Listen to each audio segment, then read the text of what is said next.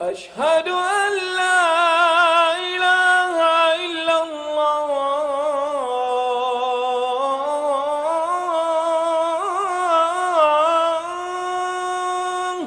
اللطيف.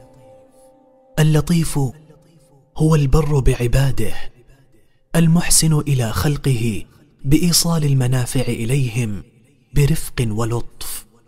إذا أراد اللطيف أن ينصرك أمر ما لا يكون سببا في العادة ليكون أعظم الأسباب. عندما أراد اللطيف أن يخرج يوسف عليه السلام من السجن لم يدكدك جدران السجن لم يأمر ملكا أن ينزع الحياة من أجساد الظلمة لم يأذن لصاعقة من السماء أن تقتلع القفل الحديدي. فقط جعل الملك يرى رؤيا في المنام تكون سببا خفيا لطيفا يستنقذ به يوسف الصديق من أصفاد الظلم. إنه اللطيف سبحانه. بأيسر الأمور يقدر أعظم المقادير وتتم إرادته على ما شاء. وعبده غير مدرك بأن شيئا ما يحدث.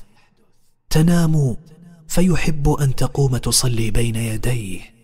فيرسل ريحا هادئة تحرك نافذتك أو طفلا من أسرتك يمر ويحدث ضوضاء بجوار غرفتك أو حاجة شديدة في شرب شيء من الماء.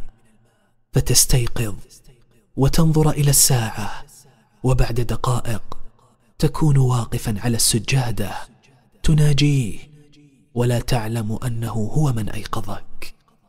انظر لنفسك حينما تدخل الغرفة في اللحظة التي كاد طفلك أن يسقط فيها من على السرير وتساءل لماذا الآن بالذات دخلت الغرفة؟ قل في خشوع. يا خفي الألطاف نجنا مما نخاف. اللهم يا لطيف الطف بنا والطف لنا وقدر لنا من ألطافك الرحيمة ما تقوم به عوج نفوسنا.